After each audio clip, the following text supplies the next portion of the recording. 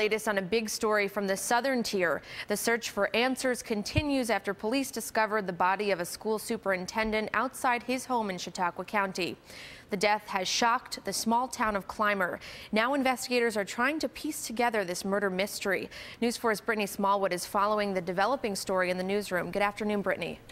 Nalina, today Chautauqua County Sheriff's deputies are collecting more evidence to figure out who committed this crime.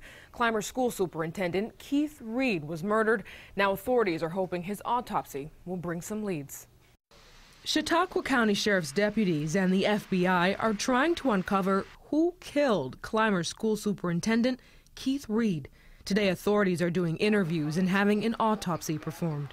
We're going to look for, see if there's any evidence, any uh, bullets uh, that we can recover and, and, and go from there. Police say Reed was shot multiple times and left in the front yard of his town of Clymer home. No one had seen or heard from Reed since Friday, but after authorities found him on Monday, they spent the whole day at his home collecting evidence.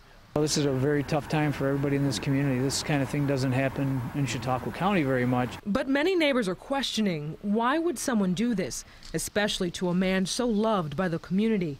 Last November, Reed became the superintendent of the Clymer School District. He just couldn't get over the excitement of how wonderful the community was to him. Mm-hmm. And uh, so it broke my heart because this was just two weeks ago. On Facebook, people have posted numerous comments. Brandy says Keith Reed will never be forgotten. He didn't automatically judge people. He listened and did everything he could to help others. Mr. Reed was a great man. Rosina writes, he wasn't just a figure in our school, but a great person who would do anything to be involved with the kids and the parents. A tragedy that's hitting home for people in and out of Clymer. I don't know who would ever have anything against such a wonderful, wonderful man. So far, police won't say what evidence was recovered at the home or if, or if they have any suspects. So stay tuned to News 4 tonight. News 4's George Richert will bring you the very latest in the investigation. Reporting live in the newsroom, Brittany Smallwood, News 4 at noon.